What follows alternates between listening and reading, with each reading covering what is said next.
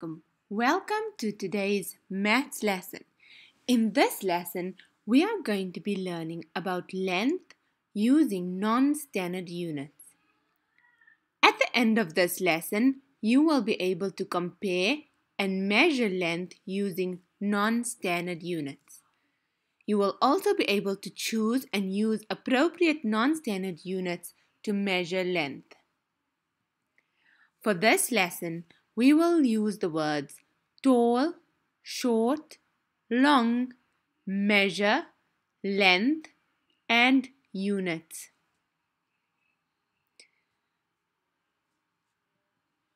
What are we learning? So today we're going to measure the length and height of objects using other small objects as a unit of measurement.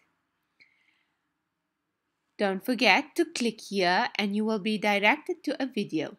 Enjoy watching the video. What do they mean by non-standard units? A non-standard units can be anything that you can find and you use it to measure the length or the height of an object. Let's look at some examples. Feet. We can use our feet to measure objects. Our hands, some blocks, some paper clips, or even pencils. There are some rules that we need to follow when we measure the length of objects. The objects we choose to measure the length of other objects is known as the unit of measurement.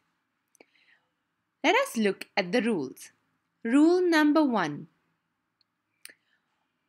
The unit of measurement that we choose must be the same and not a mixture of different objects. That means that we need to use the same object all the time. We cannot use different objects. So we cannot use hands and feet. If we're measuring an object, we need to use only one object. So here we need to use only feet. We cannot use feet and hands. Rule number two the unit of measurement we choose must be the same size. So, if we are using all feet, we cannot have one big foot and then one small foot and then one big foot and one small foot. We need to use the same size foot all the time. So the object must be the same and it must also have the same size. Rule number three. The unit of measurement can't have any spaces between each one. So we cannot measure two and then leave a space and then put one and then one. No, they all need to be right next to each other. Or they need to have the same amount of space in between each other. And that is how we're going to get the best way of measurement. Let's measure some objects using different units of measurement. You can also go have a go at estimating the length before the answer is revealed. Now, let us see how many feet long is the tub. Can you guess how many feet long would the tub be? Maybe write down your estimate. Let's see. One, two, three, and four. So the tub is four feet long. Amazing! Here we can see that we followed all the rules of measurement. We use the same object, we have no spaces in between each other, and we have the same size. Let's try another one. How many hands long is the tub? Do you think we will use more hands than feet or we will use less hands than feet? Let's check our answer. One, two, three, four, five, six, and seven. The, the, the tub is seven hands long. it was 4 feet long, but now it is 7 hands long. So, here we can see that even though we used the same tub, when we measured using something different, we got different answers. We have more, it, the tub is more hands long than feet long. Now let's try to measure the height of the door and using the blocks. How many blocks long do you think the door is?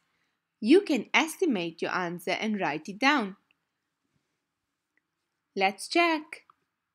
One, two, three, four, five, six, seven, eight. Okay, nine. So the door is nine blocks long. Amazing. Let's see how many pencils long is the door. Count with me. One, two, three. Amazing. The door is three pencils tall. Can you figure out why is the pencils why do we use less pencils and more blocks? We use less pencils because the pencils are taller than the blocks. So we will need a few fewer pencils to measure the door. Now let's look at Marvin. How many jars tall is Marvin?